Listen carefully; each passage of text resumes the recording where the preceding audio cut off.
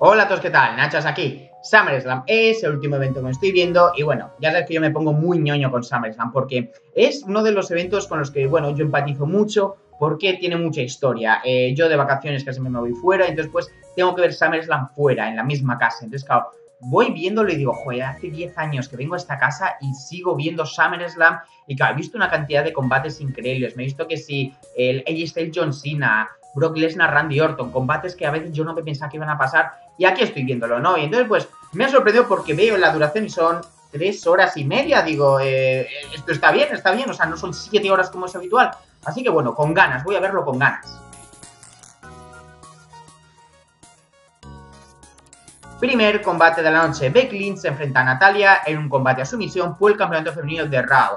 Vamos a ver, SummerSlam es en Toronto, con lo cual van a tirar mucho de figuras canadienses y Natalia pues ha visto su oportunidad de venga, voy a luchar por el título de Raw. Y la verdad es que, a ver, no ha estado mal planteado. O sea, Becky Lynch ahora mismo necesita rivales nuevas. O sea, es como eh, yo ya he dicho, ¿no? Que Baszler tendría que subir porque es que tiene una falta de rivales impresionante. O sea, mientras que Flair está a su lado y Ronda está fuera, es que no hay nadie que le haga sombra. Entonces, claro, es muy complicado. Y poner que en Canadá se va a enfrentar a Natalia en un submission match me parece curioso, ¿no? Porque las dos tienen llaves de sumisión. Una el disarmer, la otra es el clásico sharpshooter. Y el público ha estado muy encendido, o sea, como opener me ha parecido bastante guay porque el público ha estado muy interesado. Aparte de que han aplaudido mucho a Becky Lynch cuando ha entrado, también estaban a favor de Natalia, que es la, la chica del sitio, ¿no? Que bueno, me ha hecho ver como Corey Grace ha dicho muy bien, a ver, no puedes decir que un país entero es tu ciudad natal, es como si eh, yo digo en Pensilvania, oye, que yo soy de aquí porque soy estadounidense. Pero bueno, el combate ha estado muy bien, ha estado muy intenso desde el principio que ya se empezado a pegar bofetadas muchísimo y ya ha subido mucho cuando Natalia ha aplicado un sharpshooter en la segunda cuerda, que eso yo creo que nunca lo he visto. Ha habido un momento en el cual la una se ha aplicado la llave sumisión a la otra, es decir, eh, Becky ha aplicado el sharpshooter y mientras tanto Natalia le ha aplicado el disarmer, pero finalmente ha aplicado eh, Becky Lynch el disarmer y Natalia no ha podido salir y se ha terminado por rendir. Me ha parecido extraño que no hubiera breaks aquí porque yo me imaginaba que los combates de sumisión sí que habría breaks, pero bueno, no, ha sido un combate bastante interesante, ha sido intenso y sinceramente es que no pido nada más para un Open, esto bastante bien. Siguiente combate, Goldberg contra Dolph en un combate, cual yo creo que este comentario que va a hacer sobre el combate va a ser más largo que el combate en sí. A ver, eh, el combate es llamativo, ¿no? Y sobre todo quiero hablar de una serie de cosas aquí, ¿no? Lo primero es que muchos decían, ¿no? Pues que Dolph Ziggler ha empezado una rivalidad y que se iba a enfrentar con The Miz, ¿no? Por lo cual, vale, eh, sinceramente, si no se enfrenta de mí, yo contento porque es un combate visto mil veces y no tengo mucho interés. Ya tuvo su momento álgido cuando Dolph se ha puesto la carrera y todo eso. Luego decían que iba a ser contra Shawn Michaels, que bueno, mira, ya que Shawn Michaels ha roto el retiro, se le quiere enfrentar a Ziggler. Pues que claro, es que este Ziggler, o sea, aburre, aburre porque es que hace muchos años ya es cuando fue su mejor momento, cuando era el show, este, que robaba ahí todos los eventos con sus buenos combates y simplemente llegó a ser un luchador más del montón, más que bajó su nivel, ya no da tan buenos combates. Ese combate hace años me habría encantado, el Dolph Ziggler de hace años contra Shawn Michaels me habría flipado. Y ahora mismo no. Por ahora han tirado Goldberg. Goldberg eh, es un luchador que, a ver, sí, este que ya tiene 50 años, tiene lo suyo. Y la gente decía, no, que es que Dolph Ziggler tiene que derrotarlo porque no es creíble que un chico joven pierda ante un señor mayor. Pero es que yo creo que no, yo creo que no. O sea, Goldberg es una máquina. Goldberg es una máquina y a excepción del combate con Undertaker, el resto de combates ha estado genial. Es decir, es un luchador que todavía se le ve en buena forma física, un luchador que al aplicar sus dos o tres momentos los ha aplicado perfectamente, a excepción de con Undertaker, pero con Lesnar lo ha aplicado bien. Entonces, claro, en cuanto a personaje, en cuanto a su aura, Goldberg sigue siendo el mismo. Si me dices que es como, por ejemplo, que ahora ha pasado, ¿no? Chris Jericho. Chris Jericho, que en sus últimos dos combates se le ha notado con una forma muy baja y con un nivel muy bajo, pues vale, digo, mira, este Goldberg eh, ya no es el mismo. Pero es que de momento Goldberg se ha mantenido muy bien, con lo cual yo veo que es una máquina imparable. Y yo veo que no veo creíble que Ziggler le venza. Que en algún momento tenga que haber otro joven que le venza. Sí, a ver, eh, esto van las cosas, ¿no? Pues si alguien tiene que derrotarle, pues que sea otra mole, otro tranvía como él. Pero Dolph Ziggler, que lleva años perdido, que no tiene claridad, que no tiene ese personaje eh, de luchador imparable, yo no me le veía ni dominándole ni nada. Así que bueno, pues Goldberg aparece aquí para ver si puede resarcirse un poco de su lucha con Undertaker y como esperaba, le ha vencido en poco. Me ha gustado, bueno, al principio hemos visto a Dolph que ha aplicado una super kick, la tirado al suelo pero ha salido a uno. Luego ha aplicado otro y luego, pues venga, Spear y Jackhammer. Un combate normalito, bueno, es que no es normalito, es un combate que es lo que se espera ver a Goldberg haciendo sus cuatro movimientos, ha llamado a la gente para que venga a comprar la entrada. Sinceramente, yo habría elegido otro porque un Goldberg Ziggler no es que sea un combate que digas, oh Dios mío, quiero verlo con locura, no, yo creo que hay otros, en plan Reigns Goldberg, ¿no? Puede ser un combate interesante. En fin, eh, yo entiendo eso, ¿no? Yo entiendo pues que quieran tirar de Goldberg, que lo usen como atracción especial. A mí me encanta ver a Goldberg, no ha lucido mal y bueno, pues ha entretenido, ha sido pues eso, ¿no? Verle, ya está, el espectáculo puro y duro. Siguiente combate. AJ Styles defiende el campeonato de los Estados Unidos contra Ricochet. Y en principio es un combate que a mí no me apetecía mucho ver, porque bueno, ya lo he visto bastantes veces, ¿no? Lo he visto yo un par. Y claro, de nada sirve que la empresa ponga que ya no existe la cláusula de revancha si cuando se va a hacer una pelea para nombrar al próximo contendiente, incluís al ex campeón. Vamos, es que no tiene sentido, ¿sabes? Hacer esas cosas. Normalmente quitas la revancha para que no haya revanchas tan seguidas y no quemes combates, sobre todo. Pero el combate me gustó bastante. O sea, yo pensaba, digo, ¿cómo pueden estos dos hacer un combate aún mejor de lo que han hecho? Que estuvo bien. Y este me ha parecido muy inteligente, un trabajo muy inteligente por parte de Ricochet. AJ Styles está centrado todo el rato en su pierna, en su rodilla, y Ricochet lo ha estado vendiendo fenomenal. O sea, es que me encantaría que ese Rollins lo vendiera así. Ha estado casi todo el rato pues llevando las manos a la pierna, que no podía, y sobre todo, no ha podido aplicar algunos movimientos. Cuando ha tenido que saltar por encima de la tercera cuerda, es que vamos, se ha tenido que apoyar solo con un pie, porque es que el otro le dolía demasiado. Al principio, bueno, incluso hemos visto un pequeño spot donde ha caminado por las espaldas de Luke Gallus y Carl Anderson para aplicar una huracanada. Se demuestra que este hombre es un luchador muy aéreo. ¿Qué pasa? Que cuando AJ Styles le empieza a golpear la rodilla, ya le cuesta, le cuesta moverse, ya no puede hacer tantas cosas. Eh, incluso, bueno, ha habido un momento chulo que ha sido que le ha aplicado AJ Styles un suplex y luego intenta ir por el segundo. Pero no ha sido como, por ejemplo, Seth Rollins con el Falcon Arrow, que le duele la rodilla, pero venga, Falcon Arrow. No, aquí el coche ha parado, ha tenido que descansar un poco y ha logrado aplicarlo. No ha sido como una cosa de, ay, lo ha aplicado. No, no, sino que ha tenido que aguantar mucho, ha tenido que aguantar dolor ahí. Eh, también, bueno, ha hecho un par de saltos, un par de muchos con una sola pierna, lo cual me ha parecido muy bien. Y bueno, pues AJ Styles luego cuando le ha aplicado el Calf Killer ha sido como, vale, hemos visto lo mucho que está sufriendo, que le aplique una ya de sumisión a esa pierna, cuidado que aquí puede rendirse. Y aún así no se ha rendido, le aplica una Anaconda Vice, que vamos, esto llega a pasar en Chicago y ya todo el mundo está así en pack, sí en pack como locos. Eh, finalmente, bueno, se ha logrado quitar encima un poco a The Club, pero justamente cuando ha aplicado un, una desde la tercera cuerda, Edge Stage le ha cazado para Stage Class y ha retenido. Un combate bastante bueno y, como digo, muy inteligente.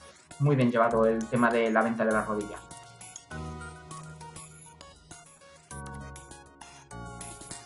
Siguiente combate, Bailey se enfrenta a Ember Moon por el título femenino de SmackDown. ¿Y dónde está Ember Moon? O sea, me acuerdo que cuando debutó era una luchadora bastante importante, que parecía que iba a tener un push, y ha desaparecido, desapareció, perdió la Battle Royale Evolution y desde entonces que tampoco es que la haya visto en el ambiente este titular y no sé, no sé, ha sido un poco...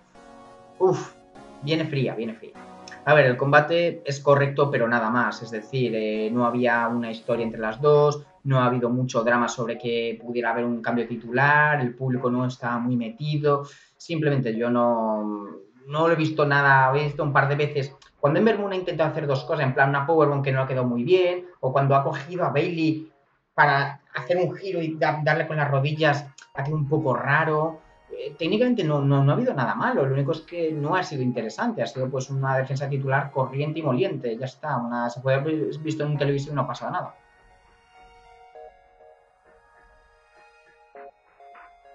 Siguiente combate, Kevin Owens se enfrenta a Simon Mahon en un combate que, vale, si Kevin Owens pierde, se va, pero todos sabemos que no iba a perder. A ver, el combate sinceramente ha sido corto, de unos 10 minutos, ha tenido muchas cosas, pero el público está interesado, yo también estoy interesado, así que creo que ha funcionado. O sea, la idea es que estos últimos meses Sima Mahon ha tenido mucho, mucho protagonismo, demasiado. Y al parecer, según han dicho, quieren quitarle ese protagonismo y, claro, necesitan una historia. Y aquí es donde encaja Kevin Owens. Kevin Owens, que es que es el que últimamente se está más enfeudando con Simon Mahon. Pero bueno, eh, tenemos aquí a Kevin Owens que hace una especie de Stone Cold porque bueno, hace la Stunner, es el luchador que va en contra de autoridad. De hecho, la promo que hizo me pareció bastante buena porque fue muy realista. El combate, a ver, ha sido muy típico, ¿no? O sea, Mahon antes de empezar, oye, venir aquí que va a venir un, ¿cómo se llama? Un enforcer especial, ¿no? Eh, y entonces pues aparece Elias que empieza a molestar, ¿no? Eh, McMahon lo ha intentado, pero simplemente es que él no es tan fuerte a pesar de lo que nos quieren hacer parecer. Por ejemplo, esa diferencia con Goldberg. En McMahon yo se me pone como un tío dominante, no me le creo, a pesar... Cuando era joven, pues puede que sí, porque era joven, pero ya de mayor y que siendo no luchador, pues eso. Eh, a Mamajón, bueno, ha tenido sus momentos de ofensiva, pero que no todo el rato estaba dominándole. Ha intentado aplicarle el pop-up, pero lo ha esquivado. Incluso, bueno, ha habido un momento en el cual, pues, Elias está todo el rato molestando. Le ha logrado aplicar el patapimba, el pop-up powerbomb, pero Elias ha interrumpido la puente 3 y que se está enfadando más y más porque Elias le estaba molestando, haciendo la zancadilla, interrumpiendo las cuentas y demás. Así que, bueno, ha habido un momento en el cual eh, le ha metido la silla y no sabía si pegar a Mamajón con la silla y así el otro gana por descalificación y se ha tenido que aguantar las ganas. Mamajón estaba así, venga, dame. Hasta que finalmente pues eh, ha empezado a golpear a Elas con la silla, el árbitro se ha quedado cao y ha podido pegar ahí a Mamajón, pero justamente en el momento en el cual iba a usar la silla, pues el árbitro ha resucitado y ha sido como, ¿pero dónde vas? Vale, vale, vale, patadón en los huevos y están 1, 2 y 3 y que no nos gana. Un combate que no, sinceramente a mí me ha entretenido y ese es el objetivo. Lo único que sí, lo que sí que noto es que se están reutilizando demasiadas cosas, ¿no? Están reutilizando eh, bastantes cosas, como por ejemplo el intento del subshooter, esta vez por parte de Steam Majo. Es que hemos visto ya bastantes subshooter aquí, entiendo que van a Canadá. Es que ya, ha habido entre NXT esto, creo que este es el cuarto subshooter que veo. Y lo mismo con lo de pegar la pata en los cataplines a espaldas del árbitro. O sea, está bien, pero siento que en este han reutilizado un par de recursos que ya habían usado.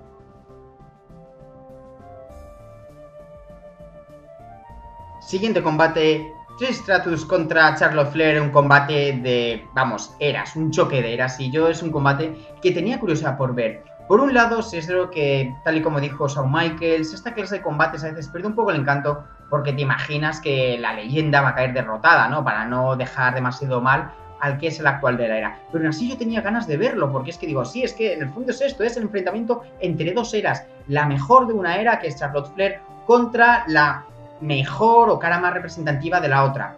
Eh, sobre la figura de Tristratus últimamente han surgido bastantes cosas, ¿no? Yo, por ejemplo, la, tengo mucho cariño porque nunca la vi luchar. O sea, creo que se retiró un poco antes de que yo empezara a ver lucha libre y nunca llegué a verla luchar. Se retiró ya en 2006, creo. Yo, yo la empecé a ver en 2007. Entonces, claro, cuando empecé a jugar al SmackDown vs. Raw, yo la tenía como una de las mejores. dije, joder, qué guay, ¿no? Tristratus, una de las mejores luchadoras. Y luego, pues bueno, la hemos visto, a pesar de que se retiró, la hemos visto en varios combates, uno en WrestleMania, Royal Rumble, con lo cual, esto para vosotros es un retiro, o sea, esto da para un tema, o sea, ¿hasta qué punto estás retirado si sigues haciendo esta clase de apariciones?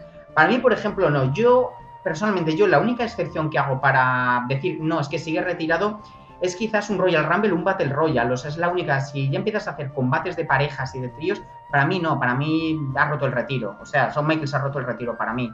Entonces, bueno, pues tenemos esto, ¿no? Tristratus últimamente sí es cierto que, digamos, su figura no ha envejecido bien porque durante esa época el nivel atlético estaba muy por debajo del que está ahora. O sea, ahora mismo las luchadoras, eh, Charlotte, Sasha Banks, Bailey, hay luchadoras muy buenas que suben muchísimo listón. Entonces esto hace, pues claro, que la gente diga, ah, Tristratus no es una gran cosa. Hombre, es como todo y que realmente es un contexto, ¿no? O sea, Tristratus fue muy buena para la época en la que estaba, en una época en la cual las luchas no tenían tantas oportunidades, ella llegó a ser una de las más vistosas, de las más carismáticas y en el ring pues no lo hacía nada mal. ¿Había mejores que ella? Sí, las había mejores, pero las demás no eran tan carismáticas como ella ni tenían tanto apoyo del público, creo yo. Entonces, bueno, el combate ha estado bien. Esto me recuerda en cierta manera al Gelkin contra Tessa Blanchard, es decir, un combate donde una leyenda sale retiro. Y aunque no ha llegado al nivel de Gail King, porque claro, Gail King se retiró hace mucho menos, Tristatus también ha lucido muy bien. Al principio se notaba un poco despistada, pero luego ha salido un combate bastante bueno. Charlotte, bueno, al principio está dominando mucho, yo pensé que esto iba a ser más corto, en plan, eh, Tris aplica sus dos movimientos y luego, venga, pues Charlotte domina y la vence. Pero no, no, de repente, eh, cuando ya empezó a burlarse de ella, Tris ha salido ahí del atontilamiento, ha empezado a pegar, a pegar chops, eh, y me ha gustado, ha aplicado sus tres momentos, el, el bulldog este desde las cuerdas, mi kick, o sea, ha aplicado sus tres momentos y han sacado los dos un muy buen combate. Me gusta porque a pesar de la edad ella ha lucido bastante bien, ha aplicado un par de huracanadas, eh, Charlotte ha sabido llevarla también muy bien, incluso bueno, cuando él ha aplicado esta figura 4 que ha levantado ahí el puente y Tris no ha podido aguantar mucho más y luego pues finalmente Charlotte la ha hecho rendir con una figura 4. Un combate muy bueno, me gusta que esta haya sido la despedida de Tris porque bueno, ha estado muy bien. Quizás hubiera visto la despedida actual donde ganó el título pues me habría dado mucha más pena, pero bueno, es que su retiro ya está roto. Y decir adiós a sus fans en su país de origen contra una de las mejores en SummerSlam me parece que es una bonita forma de acabar una carrera. Siguiente combate, Kofi Kingston defiende el campeonato de WWE contra Randy Orton. Un combate que sinceramente yo tenía ganas de ver y me ha decepcionado. O sea, eh, Randy Orton es un luchador muy potente, es un luchador que, vamos, es ya una institución dentro de la empresa. Y Kofi Kingston es el luchador que llevaba 11 años en la empresa y recientemente ha ganado su primer campeonato mundial y lo está celebrando. Pues el problema que hace 10 años Randy Orton boicoteó la carrera de Kofi Kingston y yo estaba ahí, o sea, no hay, pero sí que que leí eso, ¿no? Leí como no estaba muy conforme con Kofi Kingston por algunos problemas que tuvieron e hizo que le quitaran el push. Entonces, pues, claro. Por otro lado, a ver, yo es que siempre, me acuerdo que lo leí, yo siempre he pensado que vale, ¿no? Le quitó el push a Kofi Kingston, pero tampoco es que yo le viera a Kingston de main eventer, es decir, yo no lo veía como campeón mundial y a día de hoy sigo sin verle como campeón mundial. Pero claro, lo, lo, dijo uno, ¿no? Que dice la diferencia con Daniel Bryan, que ya que Kofi Kingston sigue el mismo camino que Daniel Bryan, Dice, la diferencia con Daniel Bryan es que cuando a Daniel Bryan le quitaban de en medio, seguían apoyándole, seguían pidiéndole. A Kofi Kingston le quitaron de en medio y el público pues pasó a otro, no, no, tenía ese gran apoyo del público. Entonces, bueno, pues años después, cuando ya ganó su título, quiere validarse delante de Randy Orton. Randy Orton ha hecho unas buenísimas de Hill, diciendo que sí, que efectivamente eh, él no está preparado, no está preparado y sigue sin estar preparado. Y yo me espero un combate muy agresivo y en cierta manera ha sido largo y pausado y no tan agresivo como esperaba. Pensé que iba a haber una carnicería entre los dos, un combate con un final limpio, sobre todo porque aquí directamente han dicho adiós muy buenas, una cuenta de 10 y sinceramente no me ha parecido aburrido. Yo pensé que se iban a dar con todo y al parecer simplemente van a hacer que van a continuarlo para el siguiente pay-per-view, no lo sé. A mí, sinceramente, yo pensé que iba a ganar Randy Orton porque, bueno, yo pensé que iba a ganar a la hora de no, creo que esté gustando Kofi Kingston dice, mira, nos volvemos a lo seguro, a Orton es seguro. Siguiente combate, ya estamos casi acabando. Bray Wyatt contra Finn Balor en un combate que, bueno, ha sido más bien un espectáculo, pero ha sido un espectáculo, vamos, espectacular. O sea, me ha encantado. Yo desde hace mucho tiempo tengo mucho miedo por Bray Wyatt, porque este personaje nuevo se lo está currando y está siendo increíble. O sea, no es un personaje nuevo que se en la manga, no. Es una evolución natural de Bray Wyatt. Bray Wyatt es un manipulador y cuando vio que ya no podía manipular más gente, venga, dijo, vamos a manipular niños, vamos a hacer un programa para manipular niños.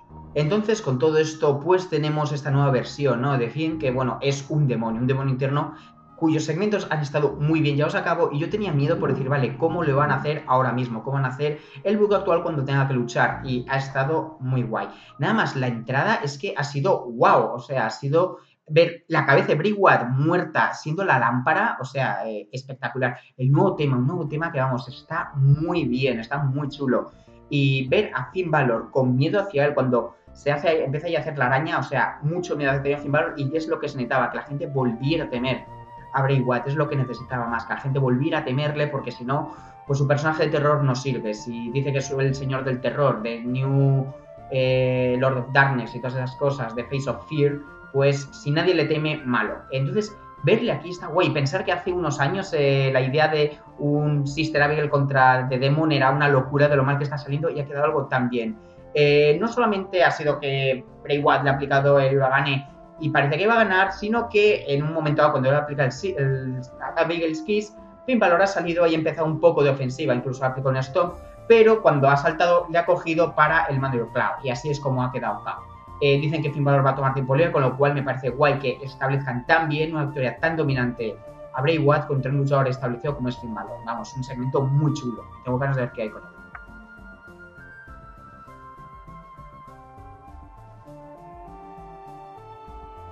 Y llegamos al main event de la noche, Seth Rollins contra Brock Lesnar por el campeonato universal. Eh, bueno, el main event ha sido lo que se esperaba de ellos, o sea, ha sido lo que se esperaba, ha sido un combate que ha sido el clásico de Brock Lesnar, es decir, Seth Rollins ha ido a por todas, ha ido a por el Curve Storm todo el rato, porque es que claro, o sea, ¿para qué vas a aplicar tus momentos más débiles si es Brock Lesnar? O sea, es Brock Lesnar, hay que ir con lo mejor que tengas, no puedes eh, entretenerte con llaveos ni llaves intermedias, no, tienes que ir a por lo más fuerte. Y bueno, pues el combate no ha estado mal, ha sido intenso, que es lo que se espera entre los dos. pero no he entendido muy bien estas decisiones que han tomado. Por un lado, Rollins aparece con todo el costillar aquí vendado porque está un poco lesionado y me gusta que ha aprendido de errores pasados, es decir, cada vez que Brock Lesnar le va a aplicar un suplex, él cae de pie. Pero ¿qué pasa? Pues que, hombre, pues como va pasando ya el tiempo y se va cansando, pues ya empieza a recibirlos. Al principio voy a aplicar un par de curve stones hasta que recibe un F5, que bueno, eh, logra escapar, eh, lanza Brock contra el poste, va más suplex, logra zafarse encima, me gusta pues porque ha intentado aplicar aquí sus momentos, pero Lesnar la ha intentado coger, pero él se ha escapado. O sea, ha estado bien, ha estado bien en general. Lo único que ha ganado Ser Rollins. Y bueno, pues yo, yo, yo, a mí yo me alegro, yo me alegro que haya ganado Ser Rollins, porque bueno, así no tenemos el campeonato secuestrado, pero ¿para qué se lo dieron entonces a Lesnar? Es decir, le das el maletín a Lesnar para que gane el título y al mes lo pierda. Pues que sinceramente no lo entiendo. Yo no, no entiendo esta decisión de haber interrumpido el reinado de Rollins simplemente por un micro reinado de Lesnar. No, no he terminado de entenderlo. Aunque es lo que a pesar de que ha habido momentos como el Frog Splash ahí contra la mesa de los comentaristas, Seth Rollins, a pesar de que ha entrado con el costillar completamente lesionado, y Rollins le ha hecho ahí, vemos el helicóptero, eh, simplemente es que luego se ha olvidado de venderlo, está todo el rato vendiéndolo y luego es que venga, ahora salto desde la, tercera cuerda contra él y no pasa nada. En fin, cosas de Rollins. ¿Recomiendo el evento? Pues sí, o sea, yo, a mí me ha entretenido, me ha entretenido. Yo creo que gran parte de eso es que el evento solo ha durado tres horas y media. Yo pensé que me había equivocado, que no había tenido el evento correcto, pero me alegro, me alegro que es un macro evento de estos que dure seis horas, que estoy cansado. Si lo bueno, breve, dos veces bueno. Eh, los combates que ha habido, que son atracciones especiales, es decir, el de Volver, el de Lesnar, el de Stratus, han cumplido su función, que ha sido ser un espectáculo, han lucido bastante bien. Y el resto, pues hombre, no han estado mal, no, que no, no han sido una locura, no han sido excesivamente locos, o sea, ha sido defensas normales y combates normales. Eh, me ha gustado el combate que hemos visto de AJ Styles contra Ricochet, ¿no? Por el selling de Ricochet que está muy bien.